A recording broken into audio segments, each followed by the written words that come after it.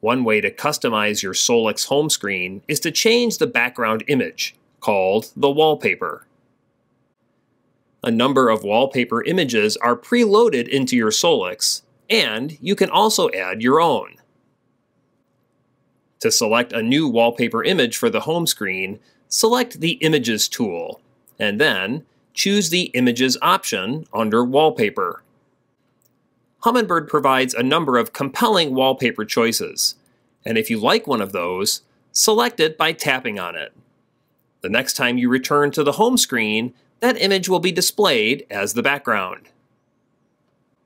You can also personalize the Solix experience by choosing a background image of your own. Export an image from your collection in JPEG format to an SD card. The image size should be 1280 by 800 pixels, and be sure to use an SD card with a 32 gigabyte capacity or less.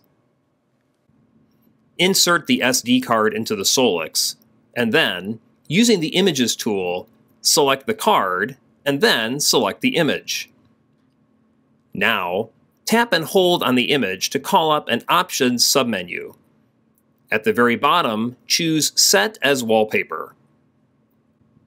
Now, that image of your own will greet you every time you return to the home screen.